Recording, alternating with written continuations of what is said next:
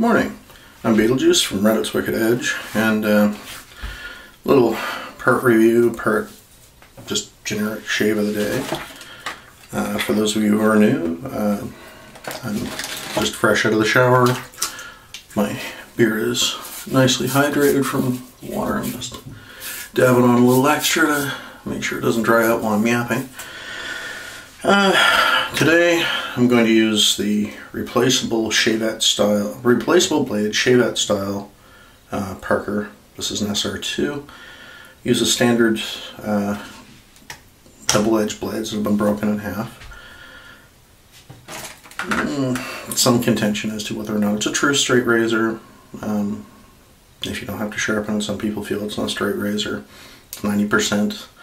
If you're interested in getting into straight razors, it or the Dovo Shavette. Actually, personal preference, I prefer the Shavette. Um, work really well to teach you how to.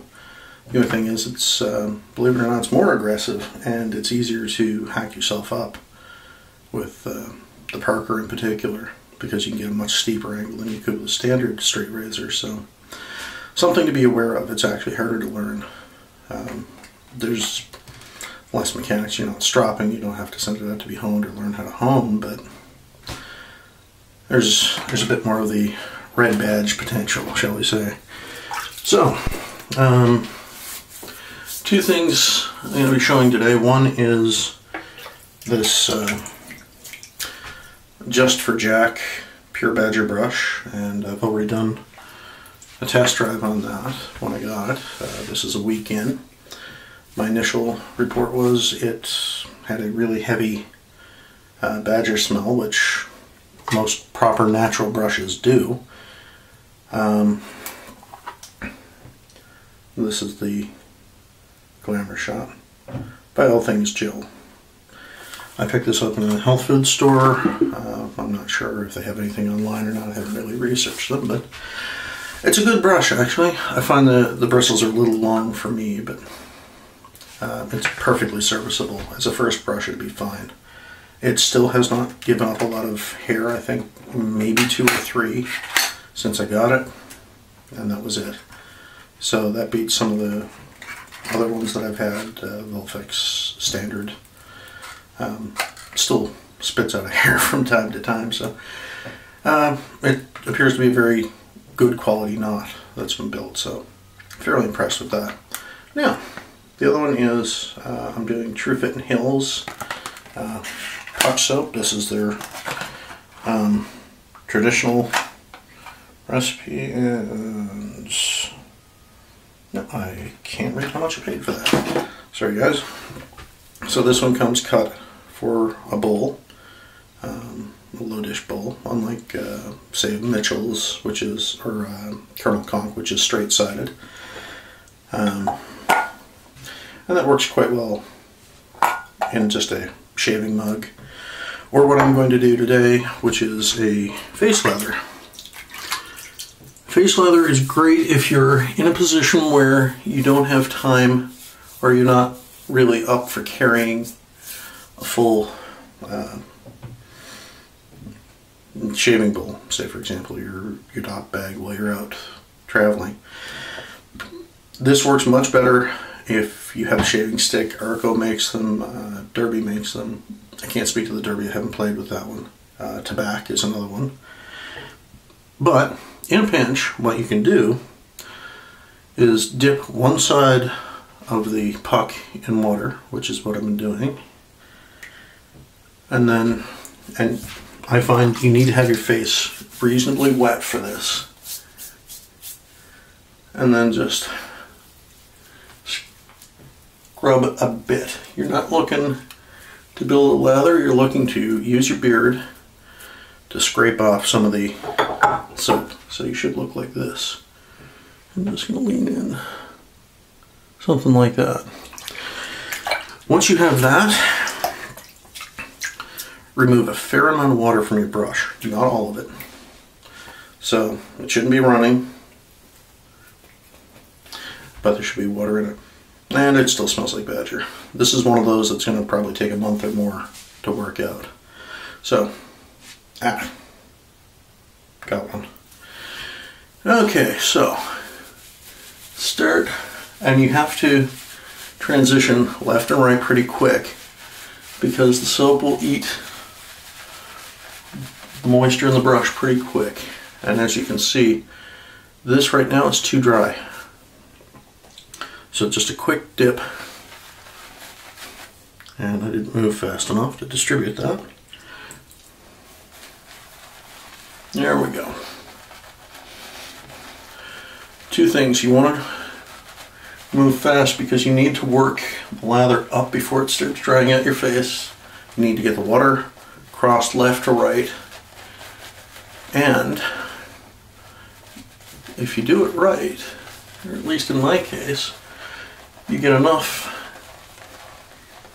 soap built in to the bristles that you'll be able to use that to relather. Now, when you're lathering, it's not just paint this stuff on like you see in Hollywood. Yeah.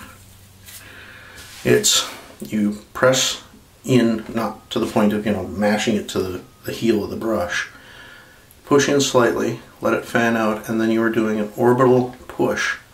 What this does, this forces the soap and the bubble matrix to the base of the follicle and you're then providing support for the follicle. You're also encapsulating it in moisture, and the reason we harp on moisture so much, to finish, if you want, you don't necessarily have to. I uh, paint when I'm finished in the opposite direction of the growth of the beard. I find that holds it a little higher up. Anyway, um, these days I'm going to use a script so I don't forget stuff. Um, derp the other thing, uh, you want to try and keep this as hydrated as possible. And the reason for that is uh, beard, well, any hair actually, when wet, swells. It becomes more pliable. Think of the difference between uh, dry and cooked pasta. It gets larger, it gets easier to cut, it doesn't break. And as a result, you have to use less force and less pull to accomplish the same goal. And this is one of the reasons why cartridge. I shouldn't say cartridge, it's not cartridge.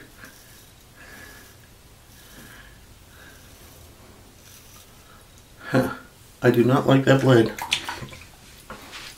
Something is not right here.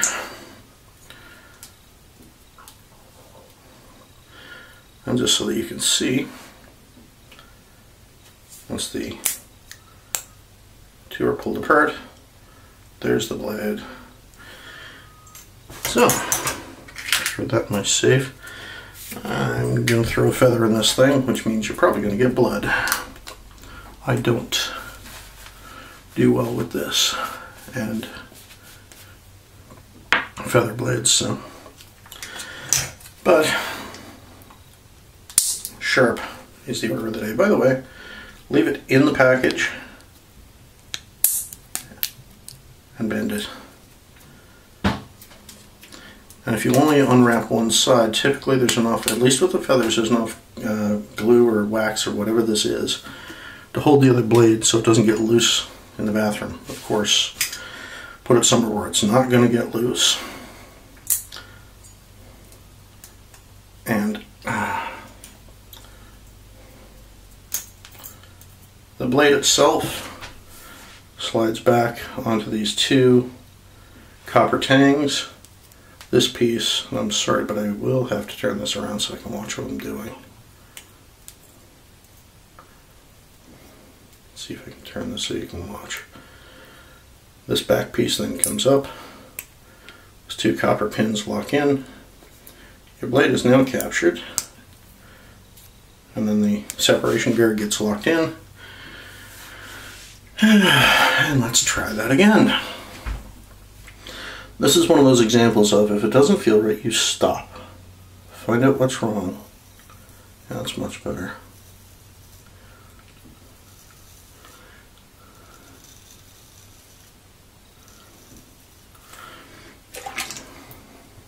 For those of you screaming, that was not a dry pass, I just had the heel touching. Okay.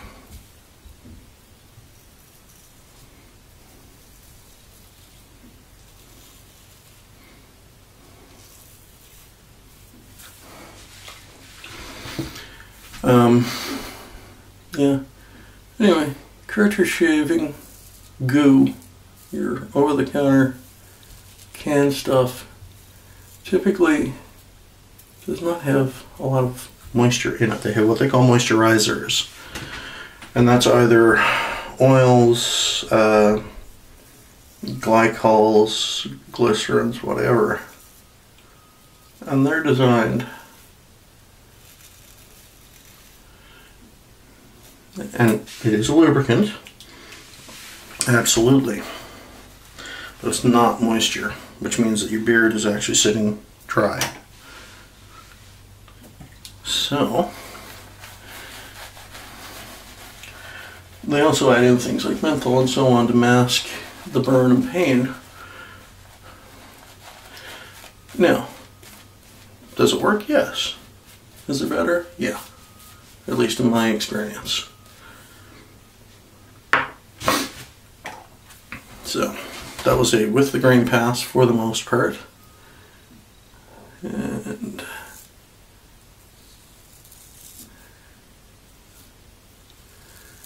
this is very, very light pressure, by the way. Um, never really been able to come up with a good analogy for how gentle this is.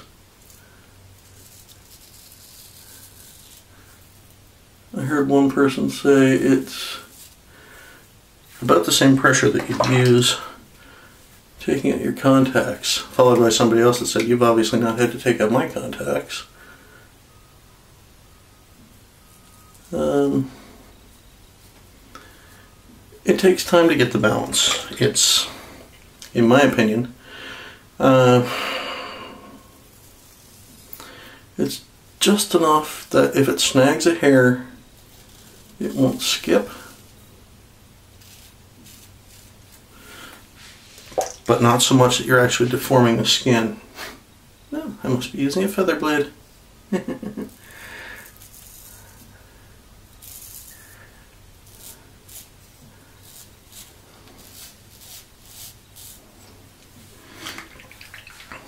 so now that I've established that I am tagged in a couple of places. It's a quick shot with a styptic pencil should knock that down. By the way, if you use a styptic pencil while you're shaving, see if I can show you something. Just for the hell of it.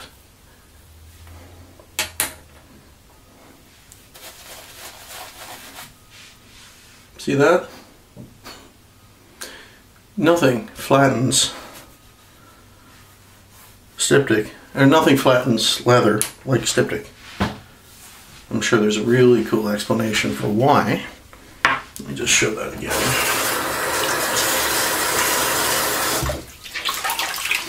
The solution is you wipe it off before you re-lather.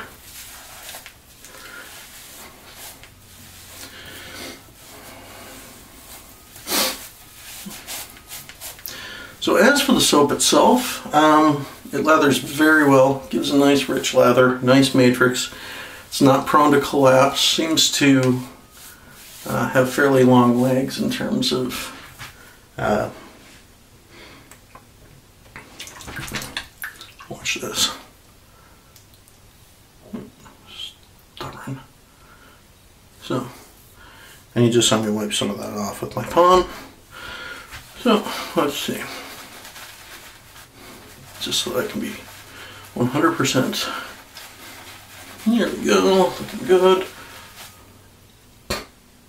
Gone. So, something to watch for when you're lathering. Oh, one other thing. Uh, styptic uh, on area will make the blade drag and more prone to skip. Be careful if you're using it while you're shaving.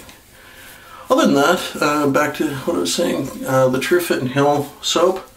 It's a bit of a floral note. Uh, I've never been good at decrypting exactly what it smells like, but it's not, you know, you're not going to smell like an air freshener has been running in here for, you know, a week or anything. It's a typical classic gentle light scent.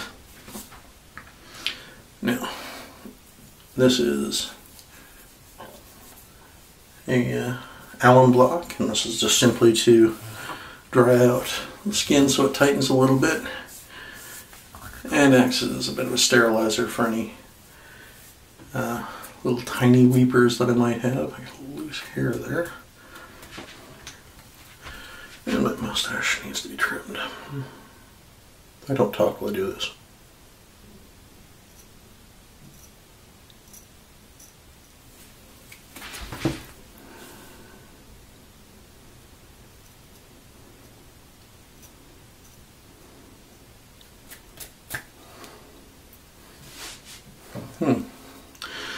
So yeah, um,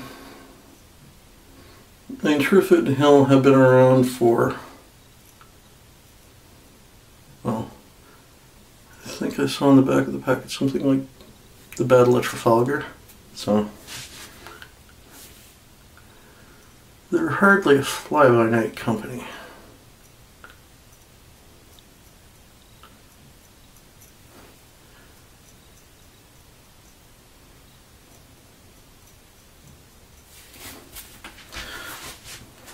Something like that.